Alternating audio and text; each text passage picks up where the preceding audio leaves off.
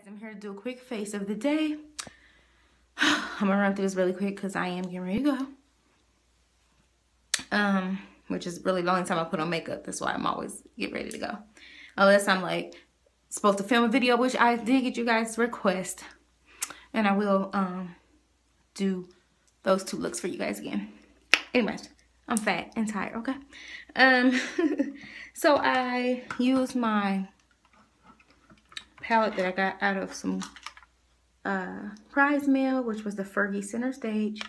Not Center Stage. Yeah, Center Stage collection. This one is in Paris Runaway. This one is dope. I mean, like, that word is so old. But it is. It's dope. Um, I did, like, a purpley gray smoky eye. And I used uh, that, no, this color and that gray and that gray. And that was it. I love it. This is just comparable to the Urban Decay. And I mean that. Like, the pigment on here is ridiculous. Love it. This color right here even reminds me, it has the specks in it. Like, if it was black, it would look just like um, the um, Blackout in Urban Decay 3. Naked 3. And then I highlighted with her uh, highlighter as well, which is awesome as well. So yeah, I used the whole, that's all I used was just that palette.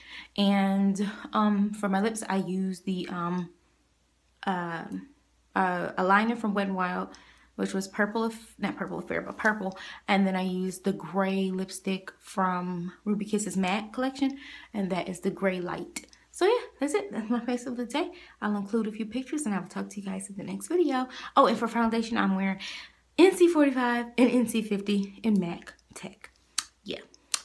Talk to you guys later.